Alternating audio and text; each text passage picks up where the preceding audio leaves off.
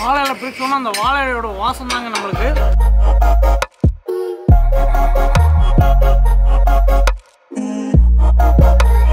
அது டேஸ்ட் வேற level. Hi yours welcome to வெல்ஃபிட்டி blog I am Sampath and Sivakannan ரொம்பவே சூப்பரான இடத்துக்கு வந்திருக்கோம். கோயம்புத்தூர் மக்களா நீங்க இருந்தீங்க அப்படின்னா இந்த இடம் தெரியாத ஆளே இருக்க மாட்டீங்க. எங்க இருக்கும் அப்படின்னு பாத்தீங்கன்னா வாவு கிரவுண்ட் நேர் பேக் சைடில் தாங்க இருக்கும். ரொம்பவே சூப்பரான அட்டகாசமான தோசைங்க நிறைய இருக்கு. அதனால தான் இங்க வீடியோ பண்ண போறோம். தொடர்ந்து வீடியோ பாருங்க. அந்த தோசை கடையோட பேர் பார்த்தீங்கன்னா தோசா கார்ட். ஆக்சுவலாக இங்கே பார்த்தீங்கன்னா ஒன் ஃபார்ட்டி ஐட்டம் தோசை இருக்குது நாங்கள் வாங்க போய் பார்த்துருவோம். ரொம்பவே டிஃப்ரெண்டா இருக்கும். வாங்க வீடியோக்குள்ள போலாம்.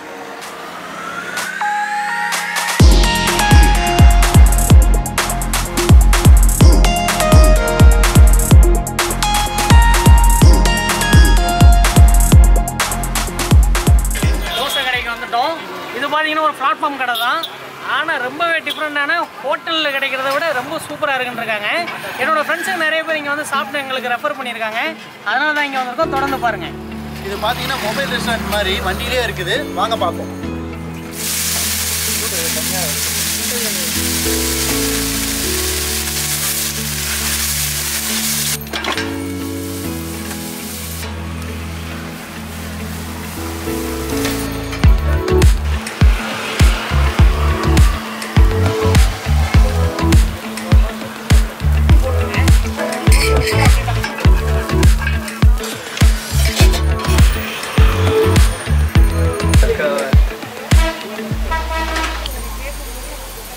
சாக்லேட் தோசை மேலே அப்படியே முந்திரி தூவி விடாரு பாருங்க.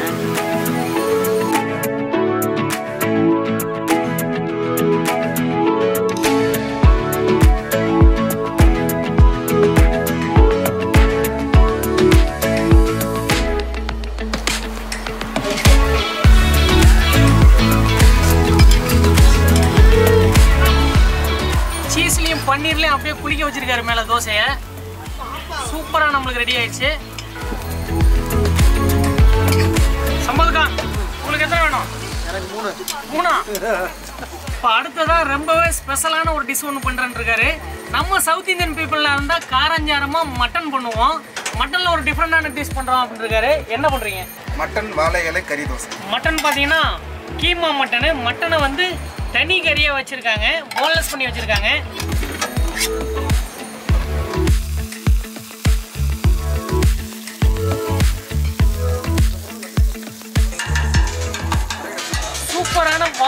கறி தோசை நம்மளுக்கு ரெடி ஆயிடுச்சு. நிறைய பேர் பார்த்துருப்பீங்க.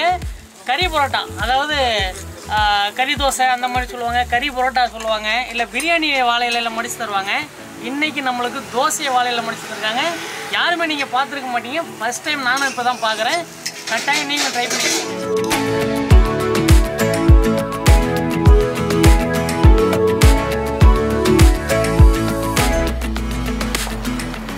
தோசையை பார்த்துருப்பீங்க. நம்மளுக்கு அழகாக அப்படியே அடுக்கி வச்சுருக்காங்க. டேபிள் ஃபுல்லாக அடுக்கி வச்சுருக்காங்க. தோசையோட பேர் ஒன்று ஒன்று நம்ம என்னன்னு கேட்டுடலாம். யார்கிட்ட கேட்க போகிறோம் அப்படின்னா இந்த கடையோட ஓனர் தான். கடையோட ஓனர் அப்படின்னு ரொம்ப வயசானவர் அப்படிலாம் நினச்சிடாதீங்க.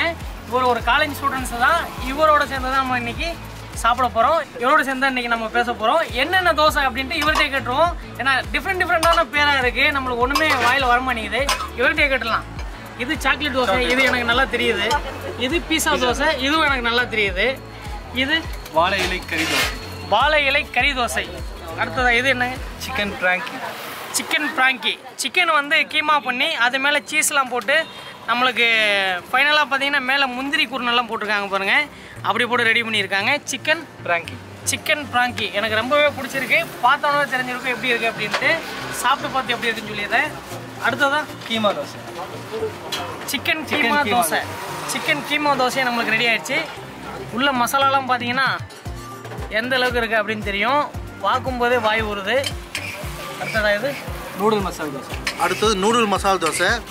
உங்களுக்கு பிச்சு பார்த்தா தெரியும். உள்ளுக்குள்ள நூடுல்ஸாக இருக்கும். நூடுல்ஸும் மசாலும் சேர்ந்து இருக்குது. வேற லெவல் தான் இன்னைக்கு. தோசை விருந்து தான் இன்னைக்கு ஒரு புடி பிடிப்போம்.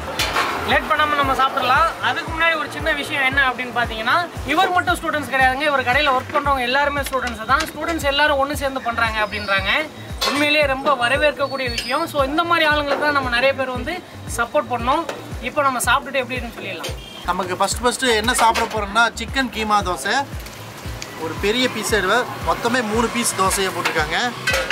அதை அப்படியே நல்லா சட்னியில் தொட்டு அப்படியே நல்லா பெரட்டி சைடில் கொஞ்சம் குருமாவையும் நினச்சி இன்னும் கொஞ்சம் பக்கம் கார சட்னியும் தொட்டு அப்படியே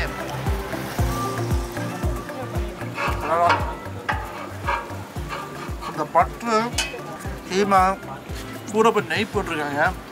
அதோட டேஸ்ட் வேற லெவல் வேற வச்சுக்குது அடுத்ததாக நம்ம ஆரம்பிச்சிருவோம். முதல்ல நம்ம ஸ்வீட்டோட ஆரம்பிச்சிருவோம். ரொம்ப நேரமாக எனக்கு கண்ணு ஊற்றிக்கிட்டே இருக்குது இந்த சாக்லேட் தோசை. சாக்லேட்லாம் அந்த ஊத்தையில் பிளேட்டில் அப்படி சதர்னது பாருங்க. மேலே நம்மளுக்கு முந்திரி இருக்குது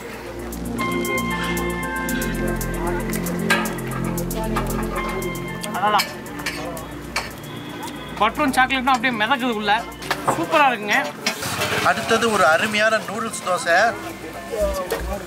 பார்த்தீங்கன்னா உங்களுக்கு பிச்சு பார்த்தா தெரியும். அந்த நூடுல்ஸ் நல்லா உள்ளே இறங்கி வேற லெவலில் ஸ்ப்ரெட் ஆகிருக்குது நான் தனியாக தான் நூடுல்ஸ் சாப்பிட்ருக்கேன் இதில் வரைக்கும் தோசையோட நூடுல்ஸ் சாப்பிட்டதில்ல. வேணா மசாலாவும் தோசையும் சாப்பிட்ருக்கேன் இந்த டைம் தான் நூடுல்ஸு வித்து தோசை. அப்படியே நல்லா மிரட்டி. சவுத் இந்தியனும் சைனீஸும் ரெண்டு மிக்சிங் ஆயிடுச்சிங்க. ஆமாம் அப்படியே சட்னி நல்லா பெரட்டு பெரட்டு பெரட்டி எடுத்து அப்படியே ஒரு பல்க் பீஸை லம்பா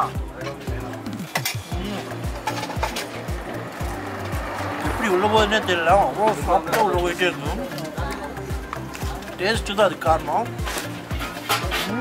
நூடுல்ஸும் மசாலாவும் சேர்ந்து தோசையோடு சேரும்போது வேறு லெவல் டேஸ்ட்டு முதல் முறையாக நான் நூடுல்ஸ் தோசை சாப்பிட்ருக்கேன் பிச்சுக்குது போங்க பீஸா பேஸை நம்மளுக்கு தனித்தனியாக பீஸ் பீஸாக கட் பண்ணி வச்சு எப்படி இருக்கும்?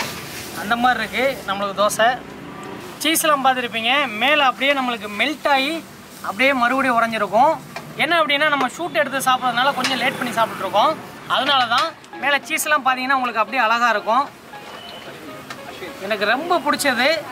ரொம்ப பேர் ரெஃபர் பண்ணாங்க. பீஸா தோசை நம்மளுக்கு ட்ரை பண்ணுங்கள் ரொம்பவே சூப்பராக இருந்துச்சு அப்படின்னு. இன்றைக்கி அதான் சாப்பிட போகிறோம் ஒரு சூட்டியாச்சு.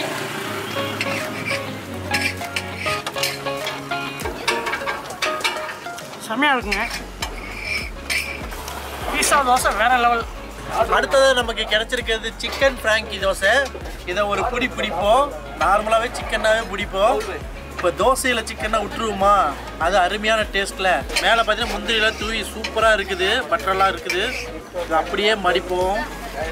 நம்ம வாய் சேப்புக்கு இதை கொண்டு வருவோம். ரொம்ப பெருசாக இருக்குது. இப்போ ரோல் ஆகி போச்சு. இது நம்ம வாய்க்குள்ளே போயிரு.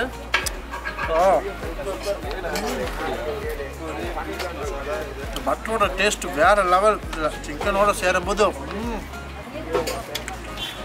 தோசை இல்லை.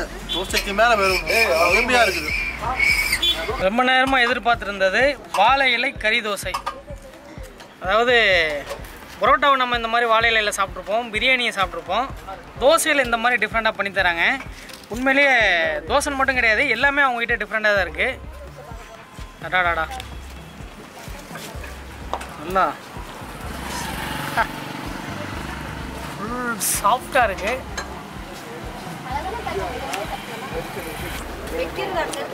மட்டன் அப்படியே இருக்குங்க. நிறைய மட்டன் வச்சுருக்காங்க உள்ள. வாழையில பிரிச்சோன்னா அந்த வாழையோட வாசம் தாங்க நம்மளுக்கு. முதல்ல தெரியுது. அதுக்கப்புறம் தான் மட்டனோட ஃப்ளேவர் தெரியுது. ரொம்ப சூப்பராக இருக்குங்க.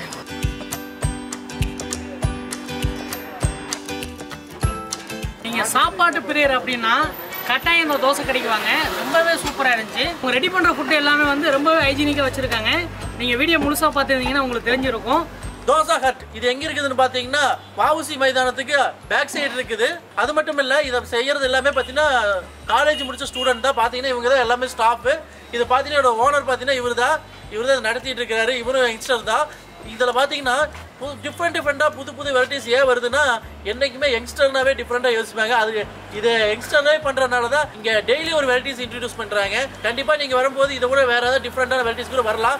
அப்படி வந்தால் கண்டிப்பாக கமெண்ட்டில் சொல்லுங்கள் நாங்களும் தெரிஞ்சுக்கிறோம். நாங்களும் அடிக்கடி வந்து சாப்பிடுவோம். அதுக்காக தான். சம்பல்கானியே வெரைட்டி தோசை டெய்லி ஒன்று பண்றாங்க அப்படின்னா இன்னைக்கு தான் வந்து வாழை இலை கறி தோசை. இன்னைக்கு தான் வந்து வாழை இலை கறி தோசை வந்து எங்களுக்காக பண்ணோம். நீங்களே பாருங்க அப்படின்னு சொன்னாங்க. ரொம்ப சூப்பரா இருந்துச்சுங்க.